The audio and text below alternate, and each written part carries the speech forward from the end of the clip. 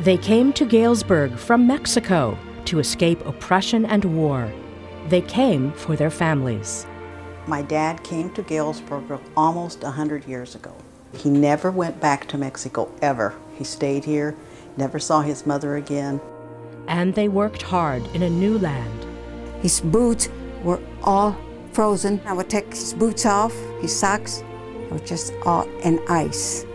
Actively recruited by the railroads, many found their new homes to be boxcars. But we all lived the same in boxcars, you know. Nobody had anything more than the other person. Our life there was a little hard. We didn't have much. This is the story of the American dream with Latino roots.